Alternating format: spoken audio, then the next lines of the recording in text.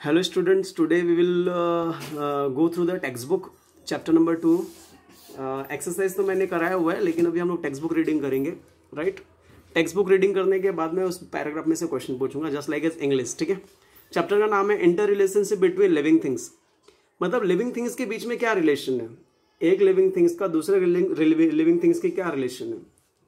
अब जैसे यहाँ पे क्वेश्चन दिया है an old age old an age old tree with a thick strong trunk gives deep dark shade from the scorching the sun like an old man's beard with many strands it has rope for swinging from every branch मतलब यहाँ पे आ, ये पेड़ है which is this which is this tree in the picture ये picture में कौन सा पेड़ दिख रहा है अपने को अपने को जनरली बनियान ट्री दिख रहा है राइट बनियान ट्री का जो थिक होता है जो ट्रंक होता है वो बहुत स्ट्रांग होता है राइट, उसके जो ब्रांचेस है नीचे की तरफ़ झुके हुए रहते हैं, जिससे हम लोग इसको स्विगिंग के लिए यूज़ कर सकते हैं।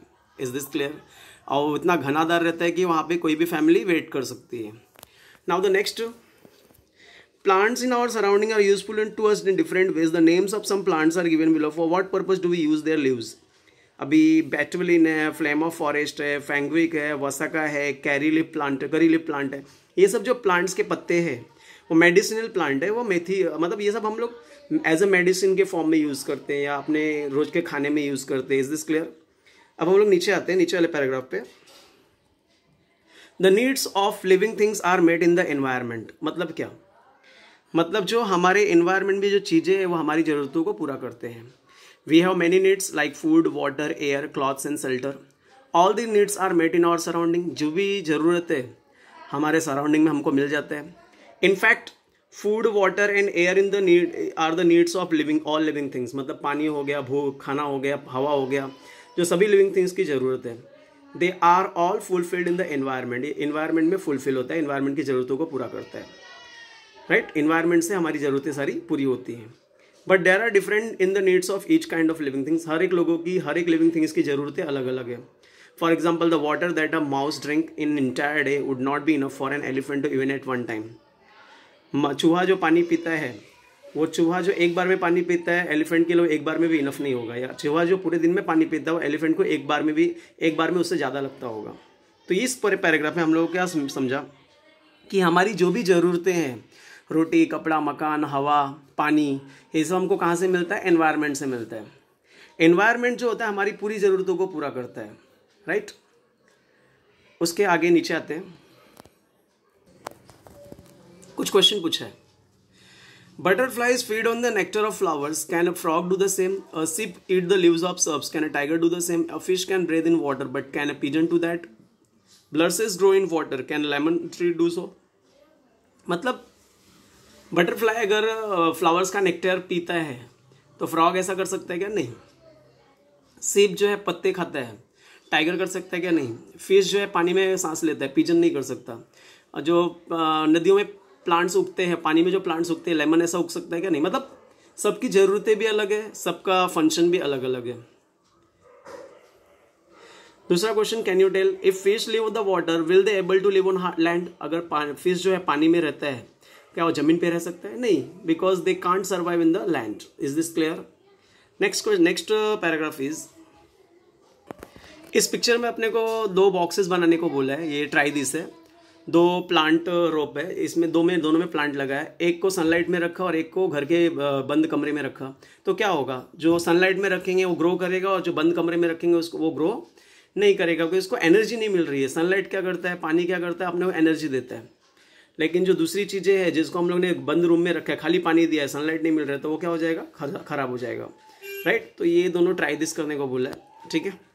नेक्स्ट इसमें सेंटेंस का मतलब क्या बताया any type of living things will be found only where all its needs are fulfilled living things कहाँ पे रहेंगे? जहाँ पे उसकी सारी ज़रूरतें पूरी होगी। पेड़ पौधे कहाँ पे रहेंगे? जहाँ पे उनको सनलाइट पानी ये सब मिलता रहेगा। तो any type of living things will be found only where all the needs are fulfilled living things कहाँ पे मिलते हैं? जहाँ पे उसकी सारी ज़रूरतें पूरी होती है। Is this clear let's take the example of tiger tiger has a stripes tiger को स्ट्रिप्स होता है। ये धारियाँ होती है। Tiger lies in wait for its prey among all tall grasses tiger tiger जो है वेट करता है बड़े बड़े घासों के बीच में उसके शिकार के लिए। Its prey can not see it in the grass because of the stripes उसका जो शिकार होता है, वो टाइगर को देख नहीं पाता घास के बीच में क्योंकि उसको स्ट्रिप्स होते हैं। There are animals like the deer nilgai and bison in the grassland grassland में ये सब जानवर होते हैं। डियर हो गया नीलगाय हो गया बीजन हो गया। When the tiger is hungry जब भी टाइगर भूखा होता है it can feed on them tiger उन लोग को खाता है। Right for a tiger there also needs to be a water hole near by which never dries up even the summer tiger के लिए क्या चाहिए? एक वाटर होल चाहिए नज़दीक में। जो समर में क्या हो जाता है? सूख जाते हैं। There must also be dense vegetation tall grasses और केव्स इन हिल्स और mountains in area so that the tiger can find shelter tiger को बड़े बड़े घास वाला जगह चाहिए वेजिटेशन चाहिए। गुफा चाहिए जहाँ पे वो क्या कर सकते हैं? टाइगर सेल्टर ले सकते हैं।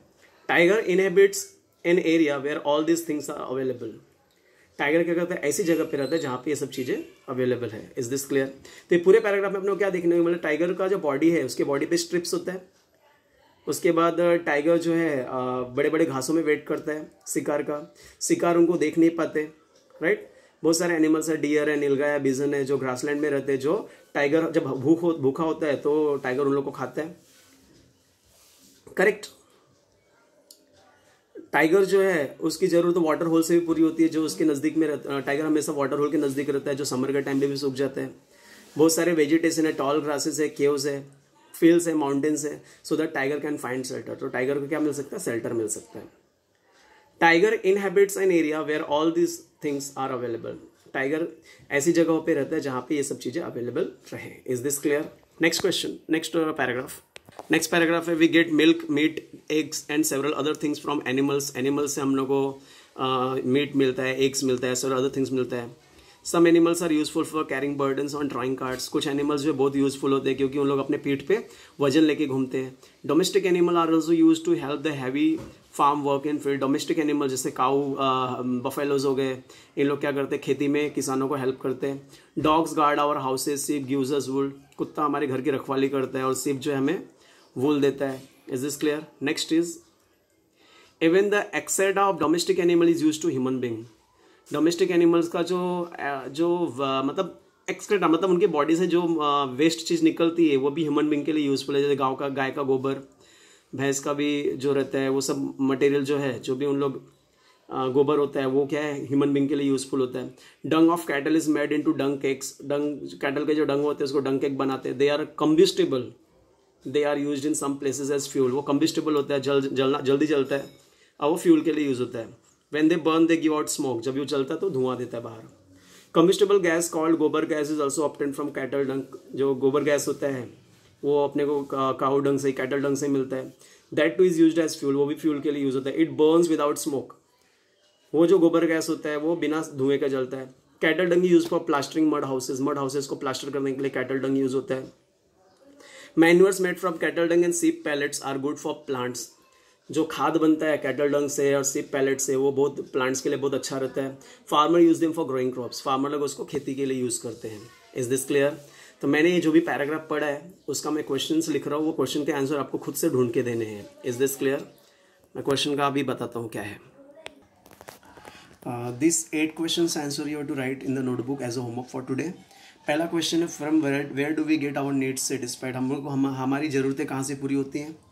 How is the cattle dung useful for human being cattle dung human being के लिए कैसे यूजफुल है? Which body structure does help tiger to catch the prey tiger का कौन सा बॉडी स्ट्रक्चर टाइगर को शिकार करने में हेल्प करता है? Which needs are satisfied from environment environment से कौन सी जरूरतें पूरी होती है? From where do we get silk get silk silk हमको कहाँ से मिलता है? How are trees useful monkey tree जो है मंकी के लिए कैसे यूजफुल है? How are trees useful for birds tree birds के लिए कैसे यूजफुल है? What happen if termites make a tree hollow termites ने अगर पूरे ट्री को कवर कर लिया तो क्या होगा? तो all this question answer you to search from the paragraph हाँ आपको ये जो आज मैंने रीड किया, आज हाँ जो भी पैराग्राफ हमने रीड किया, उसमें से आपको ये आंसर्स मिल जाएँगे। Right from fifth to eight question answer I already given in the previous video right now but rest of the question you have to search from the paragraph it is very easy because we had already done the paragraph. If any doubt is there please ask. Thank you. Have a great day. And come after completing your homework please send your completed homeworks photo in the group. It will be very beneficial for other students thank you. Have a great day